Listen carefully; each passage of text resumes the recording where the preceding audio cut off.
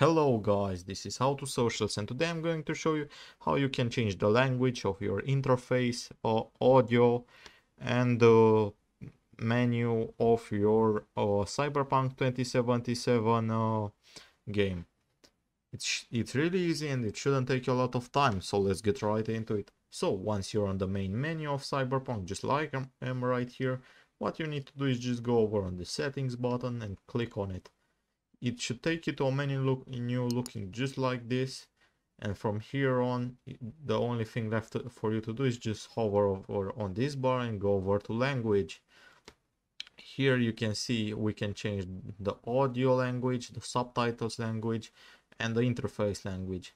As standard it should come in english but uh, as you can probably will guess we got a bunch of options. Audio is only english but we can change the subtitles to Spanish, French, and etc. I'm going to leave mine in English, but I hope you found this tutorial helpful. I hope you enjoyed it. Please don't forget to subscribe to the channel and see you in the next one.